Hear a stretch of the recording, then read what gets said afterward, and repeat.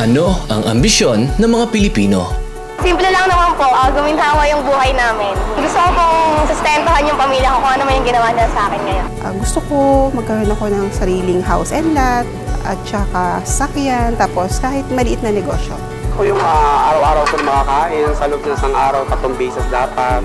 Pangarap ko po matupad po yung ginusto sa akin ng magulang ko. sana magkaroon ang gobyerno para sa libreng pagkonsulta, sa libreng hospitalization ng mga kagaya kong senior citizen.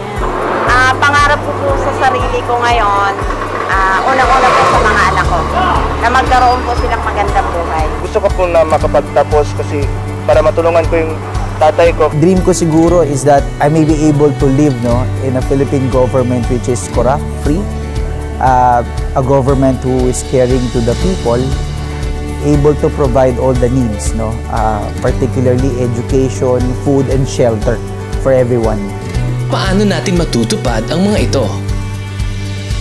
Trabaho at mas mataas na sahod.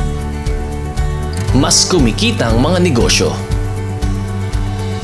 Edukasyon at kalusugan para sa lahat. Pabahay at mas maayos na transportasyon. Kahandaan sa mga kalamidad.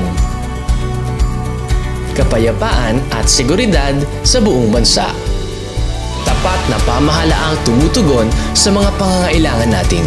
Ikaw, ako, tayo, tungo sa gusto nating kinabukasan.